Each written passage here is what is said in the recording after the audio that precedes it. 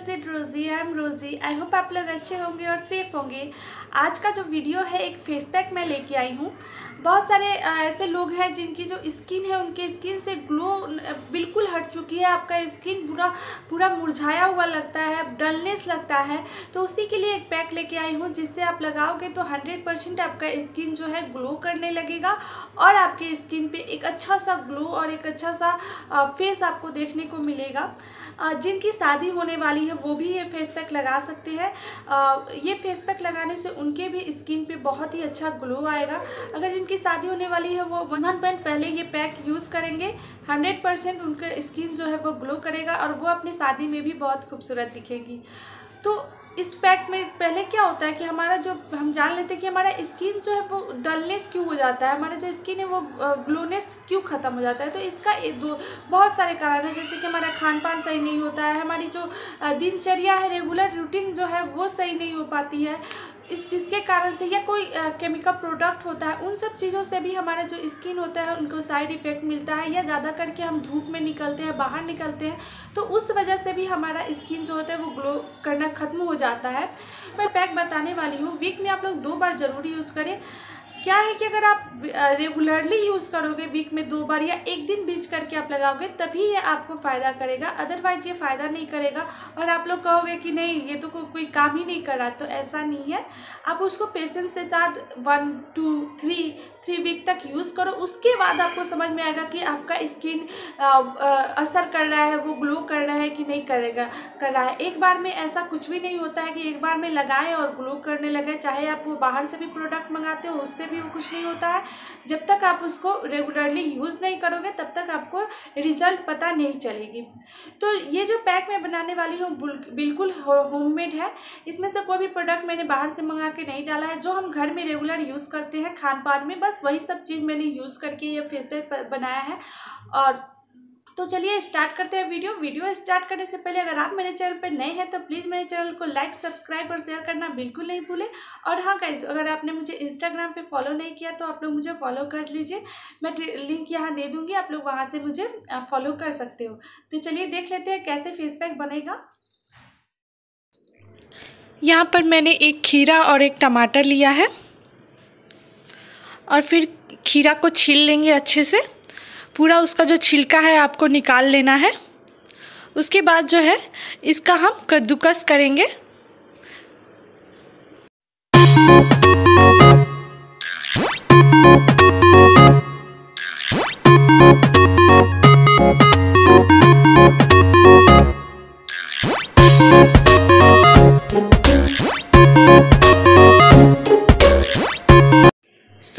यहाँ पे खीरा का कद्दूकस कर लिया है।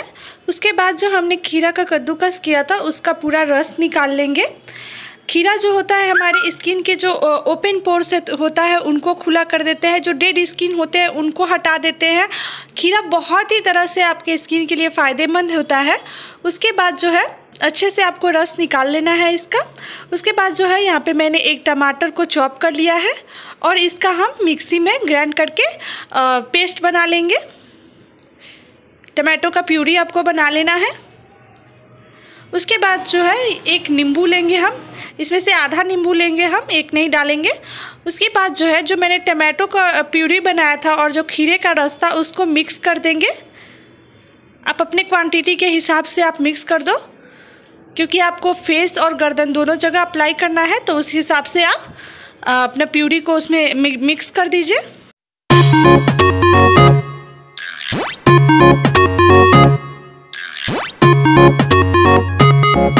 आधा नींबू लेके उसका बीज निकाल के आपको इसका रस उसमें डाल लेना है। अगर आपको किसी भी, अगर खट्टापन से एलर्जी है या किसी भी इसमें से जितनी मैंने चीज़ डाले उसमें से एलर्जी है तो आप लोग उसे न डालें। आप यहाँ चाहे तो नींबू की जगह पे गुलाब जल भी डाल सकते हैं। नींबू को स्किप कर सकते हैं। फिर आपको फिर आपको दो चम्मच बेसन ले लेना है। बेसन की जगह पे आप चाहे तो चंदन पाउडर या मुल्तानी मिट्टी भी डाल सकते हैं। दो चम्मच यहाँ आपको ले लेना है, जितने में आपका पेस्ट अच्छे से गाढ़ा हो जाए। क्योंकि लिक्विड फेम में नहीं छोड़ना, गाढ़ा हो जाए फेस पैक की तरह हो। और अच्छे से उसको मिक्स करके एक पेस्ट बना लेना है। आप यहाँ चाहे तो हल्दी भी मिक्स कर सकते हैं बट हल्दी आप जो घर में खाना में यूज़ करते हो, वो वाला हल्दी यूज़ ना करें। कस्तूरी हल्दी आता है, आप उसे यूज़ करें। घर वाले खाना से क्या होता है, आपके स्किन पे रैसेज हो जाते हैं, दाने निकल आते हैं, और बहुत सारे जैसे पीला पीला आपका फेस लगने लगता है तो कभी भी आप लोग हल्दी घर वाला, खाने वाला यूज़ मत कीजिए। और उसके बाद जो है मैं यहाँ पे मलाई दो चम्मच मलाई ले रही हूँ। घर का मलाई लीजिए, मार्केट का मलाई मत लीजिए। घर का जो आपका मलाई है, वो लिया कीजिए। और हाँ गाइज़ हाँ जो कस्तूरी हल्दी में हल्दी है, उसका लिंक मैं डिस्क्रिप्सन बॉक्स में दे दूँगी। अगर आप लोग बाई करना चाहते हो तो आप लोग कर सकते हो। और यहाँ मैं, यहाँ मैंने मलाई डाल लिया है और इसका अच्छे से पेस्ट बना लेंगे।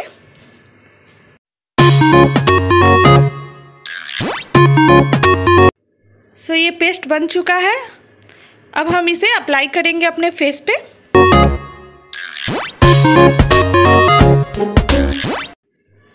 फेस पे फेस पैक लगाने से पहले अपने फेस को अच्छे से क्लीन कर लीजिए। उसको किसी भी फेस वॉश या किसी भी क्लिनजर मिल्क या वाइप से अपने फेस को अच्छे से क्लीन कर लीजिए। उसके बाद ही फेस पैक यूज़ कीजिए। चाहे वो घर का हो या आप मार्केट का लेते हो, पहले अपने फेस को अच्छे से क्लीन कीजिए, उसके बाद ही फेस पैक यूज़ कीजिए। ये आप देख सकते हो, बहुत अच्छे से मैंने अपने फेस पे लगा लिया है और आपको गर्दन पे भी लगाना है फेस और गर्दन दोनों तरफ़ लगाना है आपको। और आई एरिया को छोड़ के आपको पूरे फेस पे और गर्दन को कवर कर लेना है फेस पैक से। और फिर इसको 20 मिनट के लिए छोड़ देना है, जब तक कि आपका फेस पैक जो है ड्राई ना हो जाए। ध्यान रहे कि, ध्यान रहे कि आपका फेस पैक जो है वो 20 मिनट तक आपके फेस पे रहना चाहिए। अगर आपका फेस पे, जो फेस पैक अगर ड्राई होने लगे तो आप क्या करेंगे, गुलाब जल लेके टैप टैप करके अपने फेस को कर सकते हैं। 20 मिनट तक इसको अपने फेस पे अप्लाई करना है।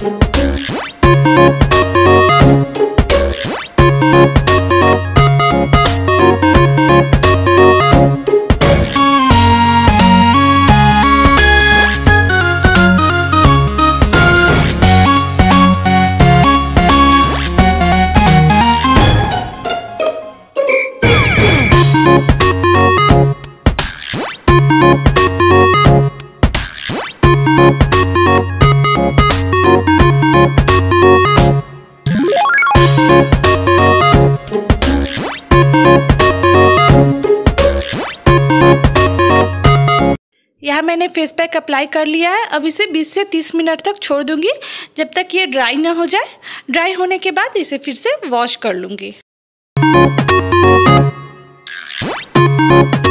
तो यहाँ 25 मिनट हो चुके हैं और ये पूरी तरह से ड्राई हो चुका है।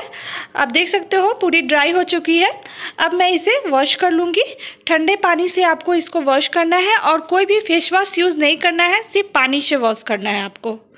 सो यहाँ पे मैंने वॉश कर लिया है और एक टॉवल की हेल्प से आपको रगड़ के नहीं पोछना है, सिर्फ़ टैप टैप करके पोछना है आपको, जिससे पानी जो है वो सूख जाए। और उसके बाद जो है, आप लोग दो से तीन दिन तक कोई भी फेस वॉश कोई भी क्रीम इस पर अप्लाई ना करें। और सिर्फ़ फेस पैक ये लगाया है, दो से तीन दिन तक छोड़ दें, उसके बाद आप लोग फेस वॉश यूज़ कर सकते हो। आप देख सकते हैं कितना अच्छा ग्लो आ गया है। फ़र्स्ट टाइम में ही कितना ग्लो लग रहा है। अगर आप लोग ये रेगुलर यूज़ करोगे एक एक दिन छोड़ के दूसरे दिन यूज़ करोगे तो ये हंड्रेड परसेंट वर्क करेगा या आप वीक में दो बार भी कर सकते हैं। तो आप लोगों ने देख लिया इसमें मैंने डाला है बेसन डाला है, खीरा डाला है टमाटर डाला है, नींबू डाला है। खीरा जो होता है, हमारे जो डेड स्किन होते हैं, उनको वो ओपन कर देता है, हमारे क्लीन, हमारे फेस को अच्छे से क्लीन कर देता है। और जो टमाटर होता है, वो हमारे स्किन को ग्लो करने के लिए बहुत ज़्यादा उपयोगी होता है। तो आप लोग इसे यूज़ करें और देखें कि आपका फेस कितना ग्लो करता है। और हाँ गाइज़ अगर आपको इसमें से किसी भी चीज़ से एलर्जी है तो प्लीज़ उसे स्किप कर दें।